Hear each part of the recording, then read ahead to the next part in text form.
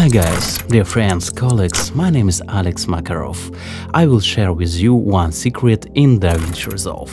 Guys, look, maybe you know I have a project in Ukraine. Fairy Tales for Children in Ukrainian language. The project is called Kazanka UA. We work with actors, actresses. In general, we work with famous people who read fairy tales for children.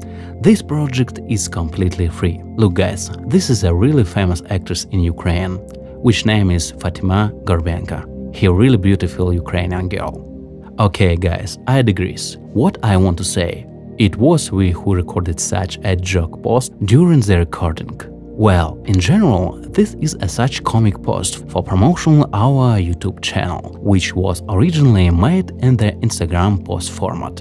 It's now originally made in our 1080-1080 format, and I want to make a story out of this post, as normal people do in general, and of course, I don't blame them for anything, but if you want to adapt the format to a story that has already been previously rendered for a post for Instagram, to do this, I have to quickly find where the timeline is.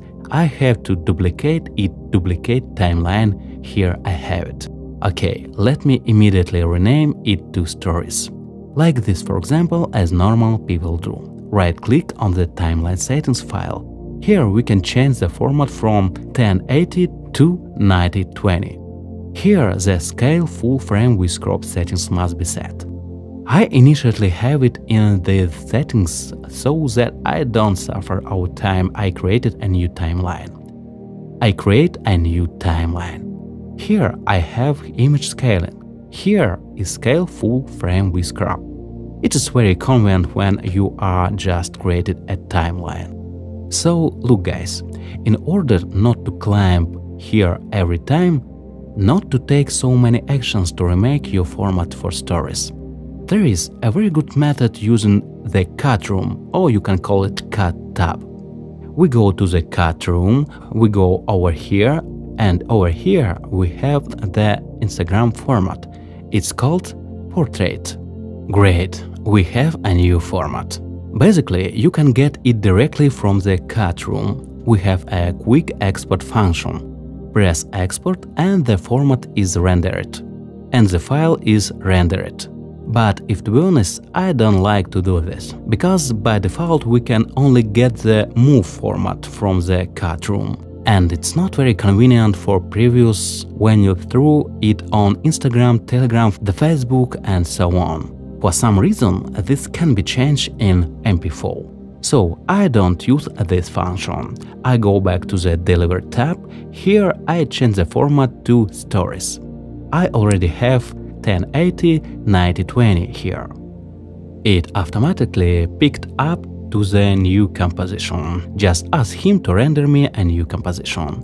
Thus, we will already have a new format for stories ready. Well, I see here I was a little wrong, because I did not move the Kazinka UA logo when I showed you.